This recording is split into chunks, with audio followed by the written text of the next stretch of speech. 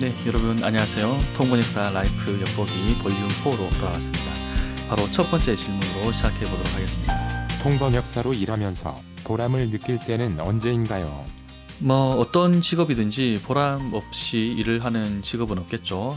저도 참 일을 하면서 보람을 많이 느낍니다. 언제 보람을 느끼느냐? 어, 통장 정리를 했는데 돈이 들어와 있다. 뭐 그러면 보람도 느끼죠.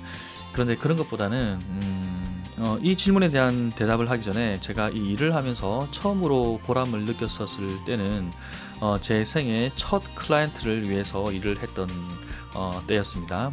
제 생애 첫 클라이언트는 바로 저희 어머니셨습니다. 제가 중학교 2학년 때였던 것 같아요. 저희 어머니가 저희 3남매를 키우기 위해서 신발 공장에서 일을 하셨습니다. 그 신발 공장에 필리핀에서 온 연수생들이 있었어요. 뭐 지금으로 따지면 뭐 해외 노동자 좀 됐겠죠. 어, 연수 기간이 끝나고 이제 귀국하는 때가 됐나 봅니다. 어, 저희 어머니가 그 연수생들한테 어, 편지를 쓴 거예요. 어, 작별의 편지를 그걸 어, 저한테 번역해 달라고 의뢰를 한 겁니다. 어, 중학교 2학년이던 제가 그 편지를 번역을 했고요. 어머니께서 그 다음날 어, 연수생들한테 어, 작별하기 전에 그 편지를 이제 보여줬다고 하시더라고요. 그 연수생들이 편지를 보고 펑펑 울었대요. 어, 그 말을 듣고 저도 참 그때 뭐 생애 최초로 이 번역이란 걸 하면서 보람을 느꼈던 것 같습니다. 그 외에 또 보람을 느끼는 경우가 한 가지 기억이 나는데요. 2011년도였을 거예요. ICAAP이라고 부산에서 아주 큰 에이즈 아, 세계 에이즈 대회가 열렸습니다. 주관하는 단체는 유엔이었습니다. 그 대회가 부산에서 일주일 동안 개최가 됐는데 제가 일주일 동안 어, 수행 통역을 했습니다. 그 행사가 국제적으로도 큰 행사였고 어, 해외 언론에서도 관심이 상당히 많았습니다. 어, 그렇다 보니까 해외 인권 단체 회원들이 어, 시위를 하러 부산에 모였었어요. 왜 모였느냐 그 이유는 뭐 너무 설명이 기니까 그냥 생략을 하고요. 그 시위를 주도했었던 한국 인권 변호사가 어, 해운대 경찰서에 연행이 됐습니다. 장서연 변호사라는 분이셨는데 지금도 그 굉장히 유명한 인권 변호사세요 우리나라에서 그 소식을 들은 그 시위대들이 해운대 경찰서로 몰려간 거죠.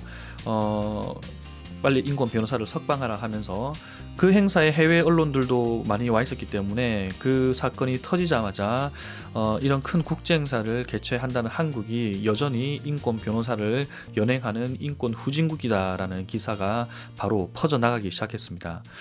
그래서 해운대 경찰서에서 즉시 음, 한 3시간, 4시간쯤이었나요? 연행 후에 신문을 하던 도중에 그 인권 변호사를 석방하게 됩니다.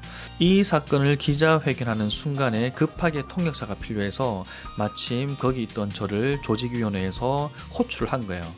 몇 호실로 오라고 해가지고 어, 달려갔습니다. 달려가 보니까 어, 그 순간 저는 좀 깜짝 놀랐죠.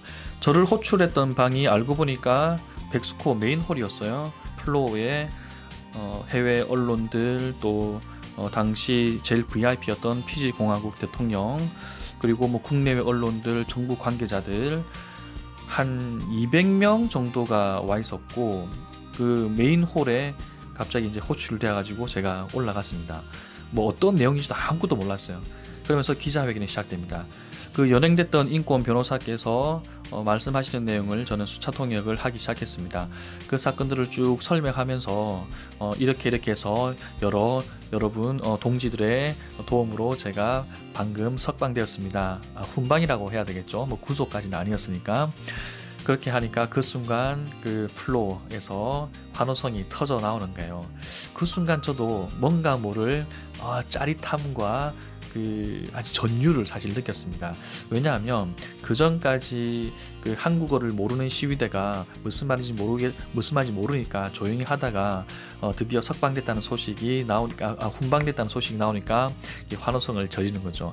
어, 저의 통역으로 어, 어떤 사람을 다른 사람들을 기쁘게 할 수 있었다라는 생각이 들면서 지금도 그때 기억을 하면 어, 참 이 일을 하는 것이 때때로 뭐 큰 보람을 느낄 때가 많구나라는 생각을 하게 됩니다.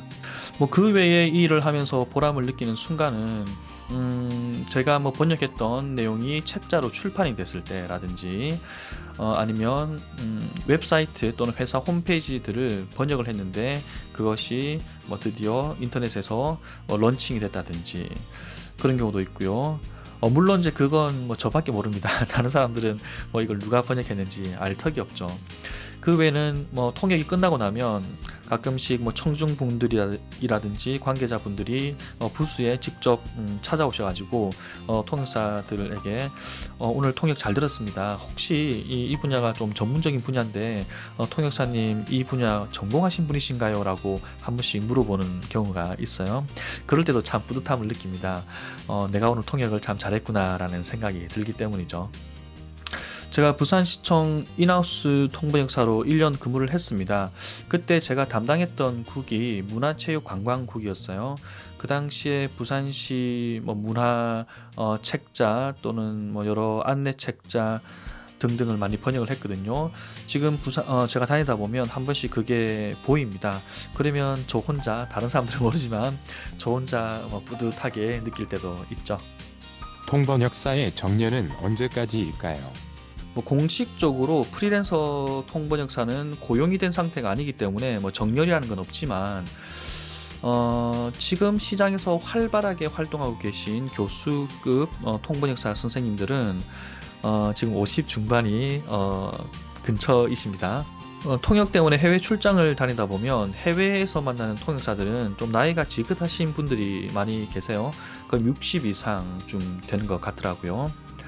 그런데 유독 우리나라만큼은 이 통역사는 좀 젊어야 된다라는 인식이 있는 것 같습니다. 최소한 제가 알기로 어, 남자 국제회의 통역사 중에 제가 나이가 좀 많은 편에 속합니다. 그렇기 때문에 제가 몇 살까지 하느냐가 어, 대한민국에서 남자 동시 통역사가 언제까지 일을 할 수 있느냐에 대한 선례가 될 것 같습니다. 최대한 오래 한번 해볼게요. 반면 번역사의 정년은 사실상 없겠죠. 번역이라는 것은 오히려 경력이 많으면 많을수록 좋으니까요. 제가 아는 굉장히 뭐 유명하신 인정받는 교수님만 하더라도 뭐 60이 넘으신 걸로 알고 있고요. 어, 번역사는 사실 뭐 나이 자체가 중요하지는 않은 것 같습니다. 음, 노트북 칠 수 있는 힘이 되면 언제까지나 할 수 있을 것 같습니다. 통번역 시장의 남녀 비율은 어떻게 되나요? 제가 대학원 입학했을 때 저희 동기가 만 4명이었어요. 그런데 남자가 저 포함해서 4명, 나머지는 다 여자였습니다. 물론 저희 기수가 남자가 제일 적었던 기수라고는 하더라고요. 그때까지는. 유독 이 시장만큼은 이렇게 성비가 불균형한 게 이걸 뭐 생물학적으로 설명을 해야 될지 사회학적으로 설명을 해야 될지는 모르겠습니다. 그런데 확실히 그 언어 능력은 여성이 뛰어난 건 맞는 것 같아요. 어, 그런데 남자도 어, 잘하시는 분 많아요. 제가 대학원을 다닐 때만 해도 국제회의 남자 통역사는 어, 저희 선배 한두 분을 제외하고는 뭐 들어본 적이 없습니다. 그런데 지금은 어, 저희 후배들 중에서도 남자들이 많이 배출이 되고 있다 보니까 어느 정도 이 시장에서도 성비 균형이 맞춰지고 있는 것 같습니다. 어, 저희 남자 통번역사 분들 우리 유리천장을 깨기 위해서 열심히 노력합시다.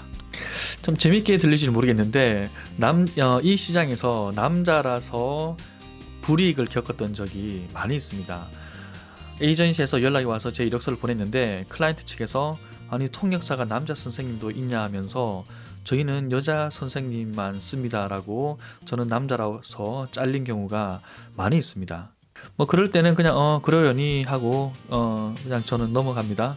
또 반대로 남자 통역사를 콕 집어서 원하는 경우도 있죠. 뭐 해외 출장을 장기간 가야 되는데 아무래도 그럴 때는 뭐 남자 통역사를 같이 데려가는 게 더 편할 수도 있으니까요. 통번역 시장에 있어서만큼은 남자가 아직은 성소수자인 것 같습니다. 네, 여러분 오늘은 통번역사 라이프 엿보기 볼륨 4로 여러분을 만났습니다. 다음에는 더 재미있고 유익한 내용으로 계속 여러분께 인사드리겠습니다. 고맙습니다.